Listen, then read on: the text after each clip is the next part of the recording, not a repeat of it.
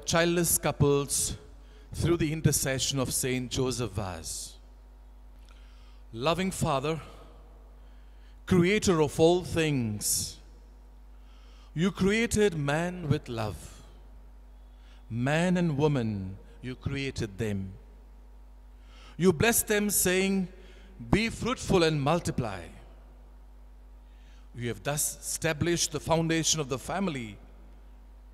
And it was your will to make the bond of marriage a reflection of the unity that exists between Christ and the church. We ask you to grant the gift of a child to those families who have not yet received the blessing of children implored from you on the day they received the sacrament of marriage. Through the intercession of Saint Joseph Vaz, remove any obstacle or sickness which may make the conception of a child difficult.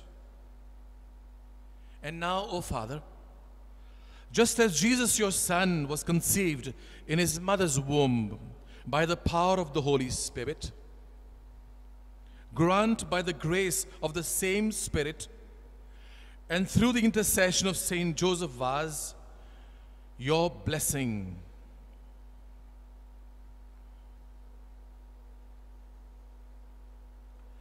And the gift of a child to those who are childless. Through Christ our Lord.